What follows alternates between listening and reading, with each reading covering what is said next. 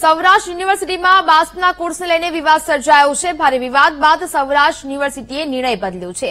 બાપ્સનો course ભણાવવાનો નિર્ણય રદ કરવામાં આવ્યો છે અને હવે સૌરાષ્ટ્ર યુનિવર્સિટીમાં સનાતન ધર્મનો કોર્સ શરૂ થશે. સંત સમાજ દ્વારા વિરોધ કરવામાં આવ્યો હતો. સ્વામિનારાયણ સંતોના નિવેદનોથી એક બાજુ વિવાદ ઊભો થયો છે.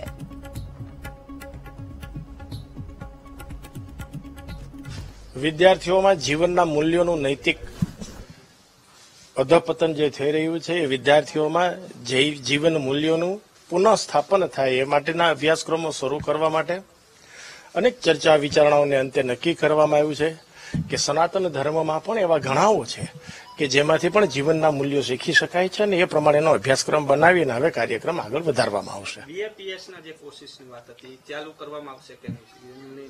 સનાતન ધર્મની સાથે રહીને શરૂ કરવામાં આવશે.